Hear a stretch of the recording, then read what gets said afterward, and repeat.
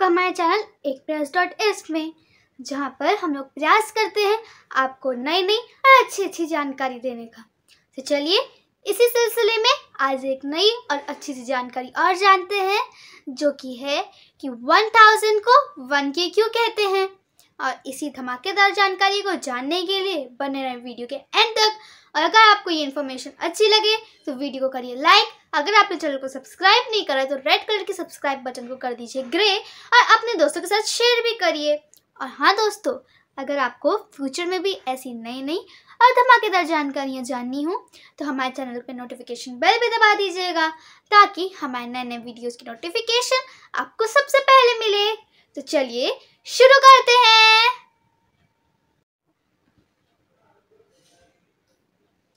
आजकल किस शब्द का उपयोग सबसे ज़्यादा सोशल मीडिया में किया जाता है। आपने कई सोशल मीडिया प्लेटफॉर्म्स पर देखा होगा। इतने के लाइक्स इतने के सब्सक्राइबर्स लेकिन क्या आप जानते हैं कि के शब्द का असली मतलब होता क्या है?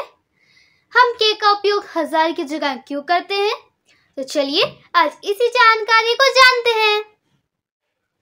अपने दैनिक जीवन पे हम कई शब्दों का उपयोग करते हैं।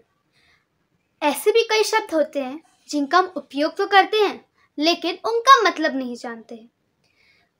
उन शब्दों में से भी कई शब्द हमने दूसरों के मुँह से सुने हुए होते हैं, और उनका उपयोग करना हम शुरू कर देते हैं। ऐसा ही एक शब्द है के। आजकल की दुनिया में हज़ार को सीधे तौर पर के के रूप में उपयोग करा जाने लगा है। खबरों के अनुसार बताया जाता है कि ग्रीक शब्द चिलोए का मतलब हज़ार होता है।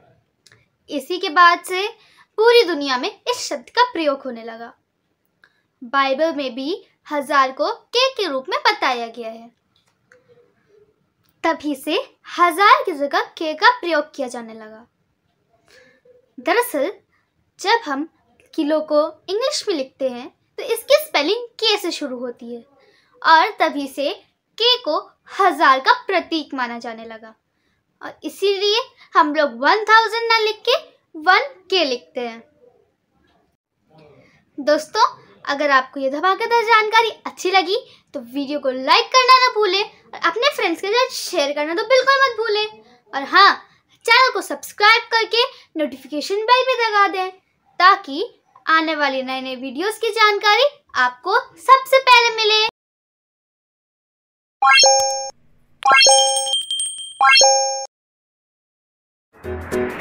Thank you.